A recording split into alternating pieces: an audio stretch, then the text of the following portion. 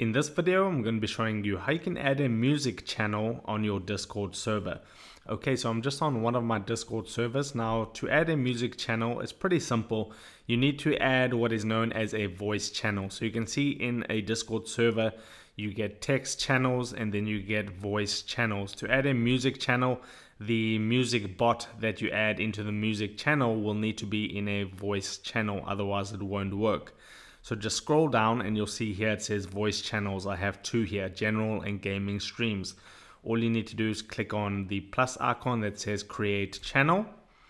And then what you want to do is click on voice so the actual music bot can work in there. And then you just want to name this. So I'm just going to call it music. And then I wouldn't recommend to make it a private channel. So leave that um, unchecked and then just create the channel. Okay, so now you've successfully created a voice channel called music. And now all you need to do is go onto Google and search for a music bot that you want to use. Okay, I do have various tutorials on how to add a music bot into your music channel and I have those on the channel. So you can use like Tempo bot, Groovy bot, or any music bot on Discord. And then you just want to add that bot into this music channel and then users of your server will be able to come on to this music channel and then interact with the music bot to be able to play music um, in your server and it's as simple as that. So if this helped you out drop a like onto this video and i'll see you in the next one